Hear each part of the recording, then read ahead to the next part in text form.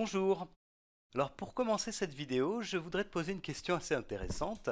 Ici, je te présente un dessin où il y a des petits cubes comme celui-ci. Et la question que je te pose, c'est combien est-ce qu'il y a de petits cubes ici? Alors, mets la vidéo sur pause pour réfléchir tout seul et on se retrouve. Alors tu auras probablement remarqué que les petits cubes ici, ils sont disposés d'une manière précise et qui est probablement une manière qui devrait nous aider à compter plus rapidement. En fait, ce que je peux faire, c'est déjà compter combien j'ai de petits cubes ici, là.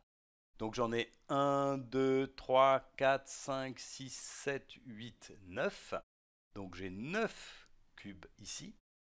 Et puis à côté, alors j'ai en fait c'est intéressant parce que là j'ai des cubes empilés et il y en a 1, 2, 3, 4, 5, 6, 7, 8, 9, 10.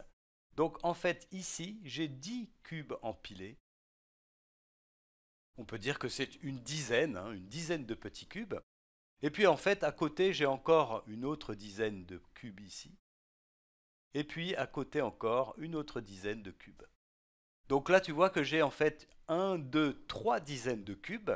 Alors on pourrait dire que c'est 30 petits cubes, mais on peut aussi le voir comme je l'ai dit, c'est-à-dire trois dizaines de cubes. Alors je vais mettre un 3 ici dans ce qui va être la colonne des dizaines. Hein. Ici du coup, on a la colonne des unités, et ici la colonne des dizaines.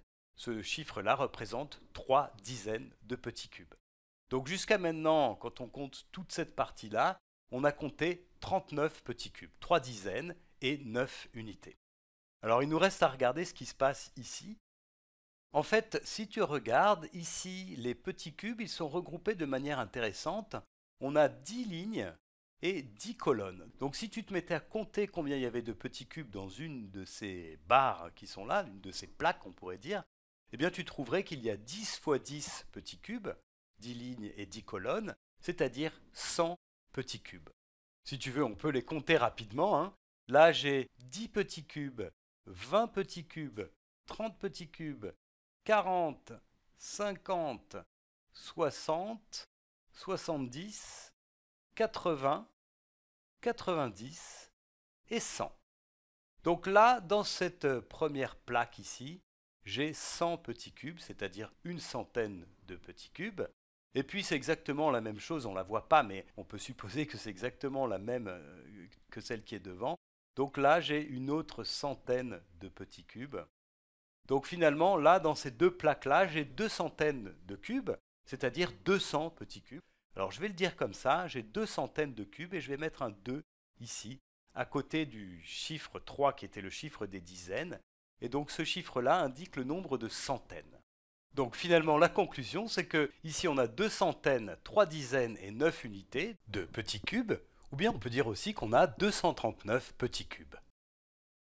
Alors maintenant on va prendre les choses dans l'autre sens. Je vais te montrer des blocs, des cubes comme tout à l'heure regroupés, disons déjà ceux-là, et puis cela.